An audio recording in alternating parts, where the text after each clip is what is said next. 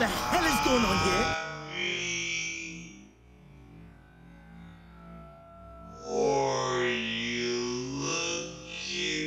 Doesn't anyone notice this? I feel like I'm taking crazy pills!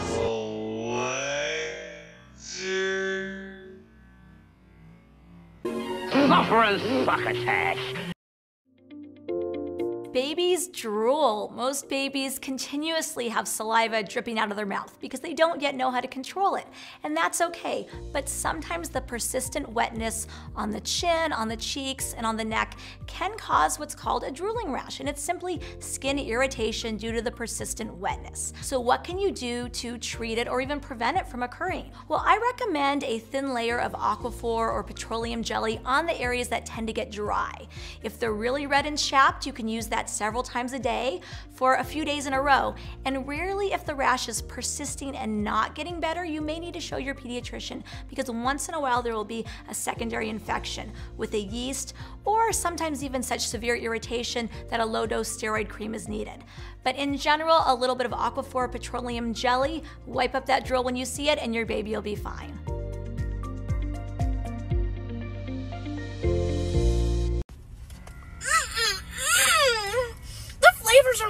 My tongue.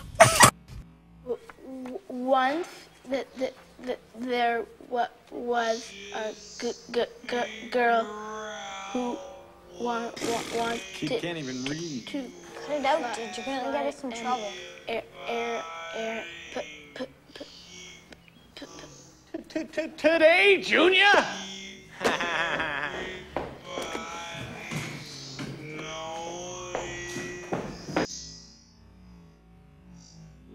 You can spot no prep veneers from a mile away, literally. Totally get it, we want to conserve tooth structure, but the issue is people keep asking for no prep veneers because they don't want to drill the teeth, and dentists keep doing them. Do you know how many times I've said no to somebody who asked me for no prep veneers, and I just said, bye, you can you can do it somewhere else. I'm not gonna let people walk around like this. There's nothing wrong with a no prep veneer. No prep veneers are great. They're conservative. It's putting it on the wrong person. That's the problem. We can all agree that this would not look good if you did no prep veneers because everything would just look really, really big.